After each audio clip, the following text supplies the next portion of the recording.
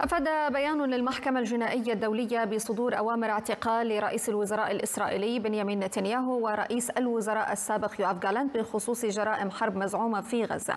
شمل القرار أيضا أمر اعتقال بحق قيادي في حماس وهو محمد إبراهيم المصري. كما دانت الرئاسة الفلسطينية استخدام الولايات المتحدة حق النقد الفيتو في مجلس الأمن لمنع اتخاذ قرار يدعو إلى وقف إطلاق النار في قطاع غزة. أكدت الرئاسة الفلسطينية في بيان أن الاستخدام الرابع من نوعه يشجع إسرائيل على الاستمرار في جرائمها ضد الشعب الفلسطيني. كما صوتت واشنطن وحدها ضد القرار في جلسة مجلس الأمن مبرزة أنه افتقر إلى إدانة حماس في هجمات السابع من أكتوبر. أكد مندوب واشنطن خلال جلسة مجلس الأمن أنه لا يمكن أن يدعم قرارا لا يدعو إلى الإفراج الفوري عن الرهائن. ومشددا على أن بلاده ستواصل الضغط لإيصال المساعدات وتحسين الأوضاع الإنسانية في غزة. أكد القيادي في حركة حماس خليل الحية أن الحركة تبحث في كافة الأبواب لوقف الحرب في قطاع غزة.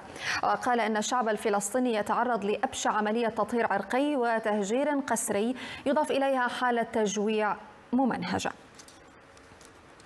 إلى ذلك كشف موقع أكسيوس أن إسرائيل تعهدت خطيا للإدارة الأمريكية بعدم تهجير الفلسطينيين قسريا من مناطقهم في شمال قطاع غزة. قال الموقع أنه رغم التأكيدات فإن مسؤولي إدارة بايدن يشعرون بقلق عميق من أن الجيش الإسرائيلي لن يسمح لآلاف الفلسطينيين المدنيين الذين غادروا شمال غزة بالعودة.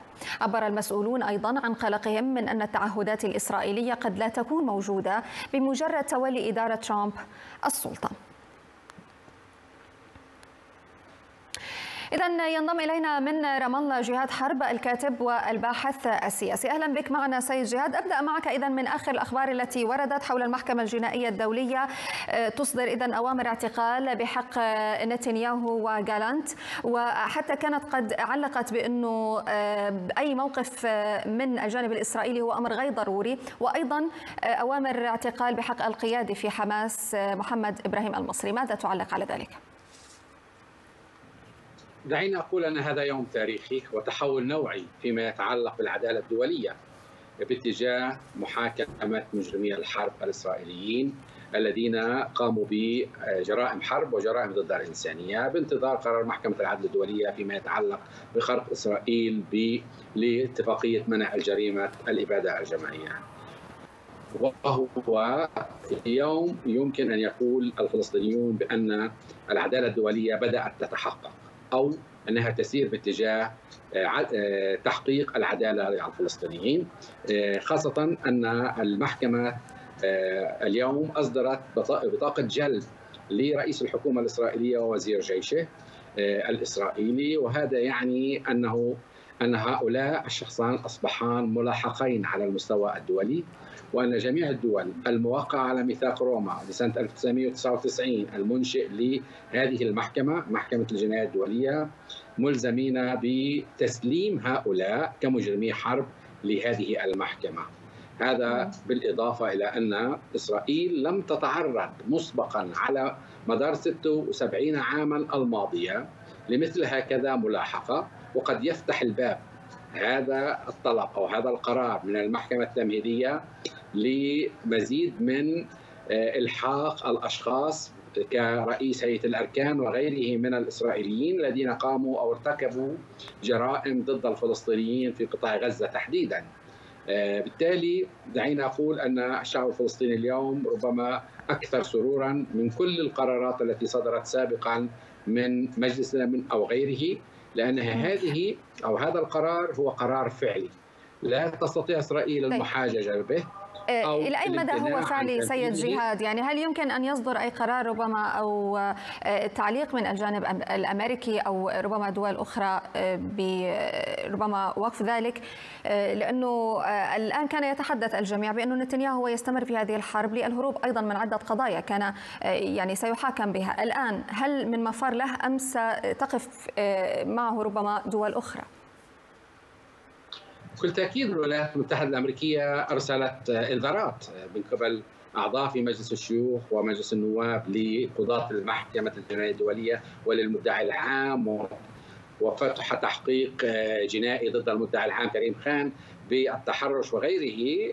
ستكون هناك ضغوطات مختلفة ومتعددة من قبل الولايات المتحدة الأمريكية، دعينا أقول أن أغلب دول أوروبا هي وقعت على ميثاق روما وبالتالي هي ملزمة في حال وصول أي من من هؤلاء الأشخاص الذين صدرت بحقهم بطاقات جلب ملزمين بتقديم بتقديمهم للعدالة الدولية. وألمانيا الحليف الرئيسي لإسرائيل وربما تذهب بتصريحات مختلفة أعلنت قبل فترة أنها ستلتزم.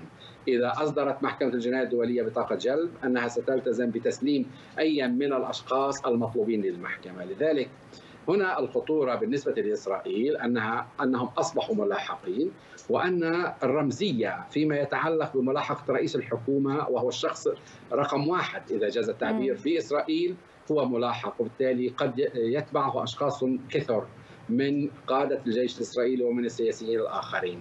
هذا يعني أن مسار العدالة ربما يبدأ الآن فيما يتعلق بملاحقة إسرائيل طيب. إلى أي مدى سيعرقل ذلك هذا لا يعني التحركات الإسرائيلية الآن في قطاع غزة وما يشهده القطاع اليوم الحديث عن التهجير وأيضا مسألة المساعدات ومنع كل يعني ما يؤدي إلى مساعدة أو خدمة هؤلاء يعني النازحين أو الشعب بشكل عام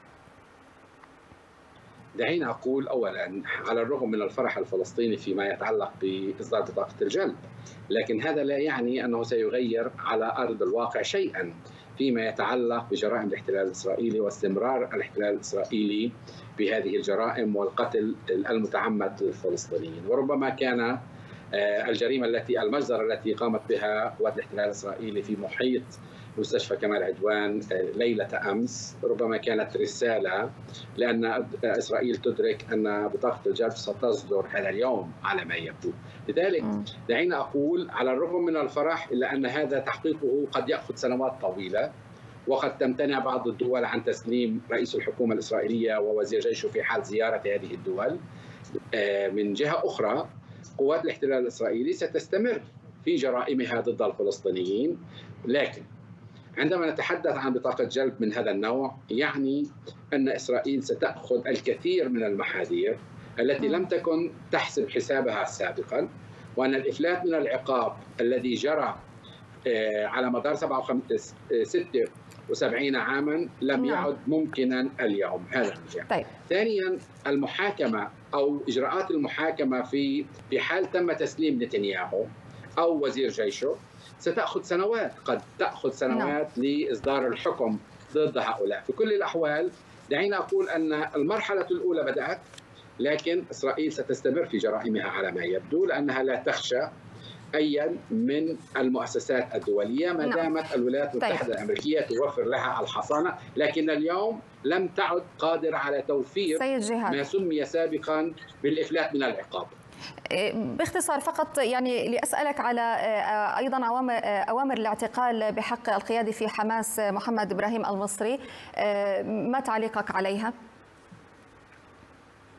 هو عندما أعلن كريم خان المدعي العام لمحكمة الجناية الدولية كان يضع خمسة أسماء إسماعيل حنيه والسنوار ومحمد الضيف وهو محمد المصري بالإضافة إلى نتنياهو وجالنت في ظني أن في حال ثبت أنه لم يستشهد أو لم يتم اغتياله محمد الضيف سيكون ملاحقا. وهو ملاحق من قبل الاحتلال الإسرائيلي حكومة الاحتلال الإسرائيلي اغتالت السنوار أو قتلت السنوار واغتالت إسماعيل هنية وربما تغتال أو تقتل محمد الضيف أو أنها قد قتلته في حزيران الماضي وحتى الآن لم يتم الإعلان عن استشهاده من قبل حركة حماس. في كل الأحوال سيكون هؤلاء الأشخاص هم ملاحقين في حال خروجهم من المناطق التي يعيشون فيها في إسرائيل أو في قطاع غزة. شكرا لك جهاد حرب الكاتب والباحث السياسي.